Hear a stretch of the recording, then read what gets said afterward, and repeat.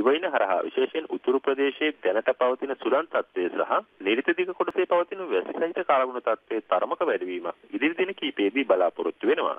අද දිනේ වර්ෂා පිළිබඳ සැලකුවොත් බස්නාහිර දකුණ මධ්‍යම සබරගමු සහ වයඹ පළාත්වල විටින් විට වැසි හෝ ගිගුරුම් සහිත වැසි අපේක්ෂා කරන අතර විශේෂයෙන් බස්නාහිර සහ සබරගමු පළාත්වලත් ගාල්ල සහ මාතර දිස්ත්‍රික්කවලත් ඇතැම් ස්ථානවලට මිලිමීටර් 100ක පමණ තද වර්ෂාපතනයක්ද ඇතිවීමේ හැකියාව පවතිනවා. ඒ වගේම අනුරාධපුරයේ යාපනය මඩකලපුව සහ බදුල්ල දිස්ත්‍රික්කවල සිහින් වැසි වාර කිහිපයක් ඇතිවිය හැකියි. උතුරු උතුරු මැද සහ වයඹ පළාත්වලත් ත්‍රිකුණාමලය මාතලේ සහ හම්බන්තොට දිස්ත්‍රික්කවලත් විටින් විට හමන පැයට කිලෝමීටර් 60ක් දක්වා පමණ වන තද සුළං ඇතිවිය හැකි අතර දිවයිනේ අනෙකුත් ප්‍රදේශ හරහා විටින් විට හමන පැයට කිලෝමීටර් 50ක් දක්වා පමණ වන තරමක් තද සුළංද ඇතිවීමේ හැකියාව පවතිනවා.